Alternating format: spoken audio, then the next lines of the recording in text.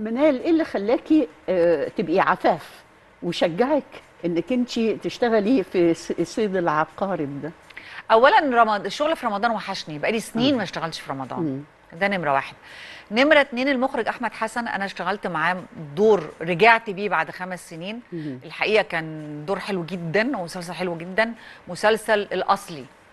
عرض قبل رمضان اللي فات. مم.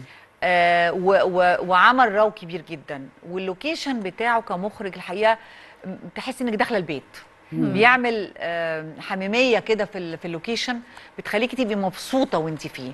رغم عدد الساعات الكبير اللي إحنا بنشتغل فوق ال 18 ساعة. في اليوم. في اليوم.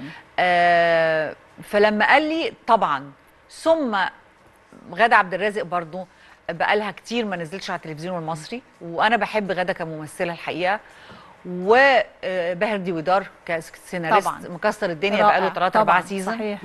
وشركة الإنتاج آه. آه، آه، شركة أول مرة أتعامل معاها.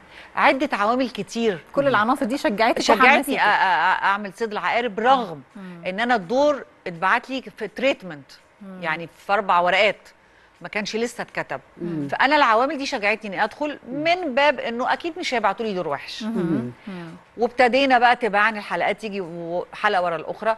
طبعا أثناء الشغل لقيت دوري مش معقد. كبير بس حجما معقد. مم. لكن تأثيره كبير آه في الدراما مم. فده اللي خلاني آه، أقبل الدور مهم.